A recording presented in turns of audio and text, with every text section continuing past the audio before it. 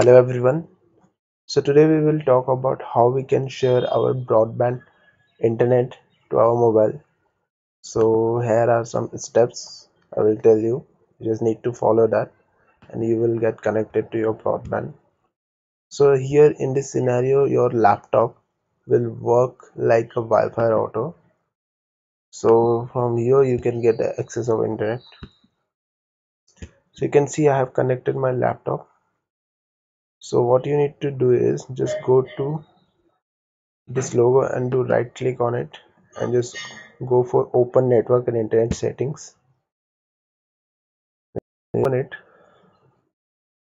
Uh, just go to mobile hotspot. This feature is available in latest windows version. Here you can see i have connected to network tree which is network name.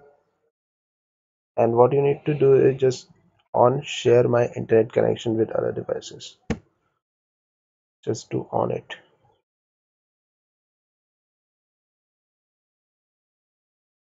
And here you can edit the option which you want to display in your mobile skill like if you want to search for Wi-Fi option. So this name will appear. I will Mobi desk and let the same password. Any available click on any available and do save now you can see that this option this Mobi desk name will be available in my mobile. So let me show you. Just go to my mobile console. Here you can see this is my mobile console. So what I will do is I will go for Wi-Fi. I will turn on. And here you can see the MobiDesk name appear which we have created over here. So I will just to connect by typing name. Mobi one two three four.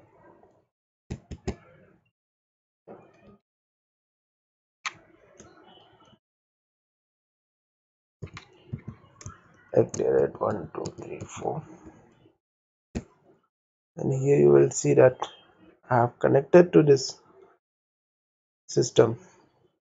So let's check the net is working or not. Uh, open google. Then we will type hashtag for command. Here you can see the net is working properly. That's it so like this you can connect your devices your phone devices to your laptop if you are connected with broadband. So you can share your broadband internet with your devices. That's it. Thanks for watching.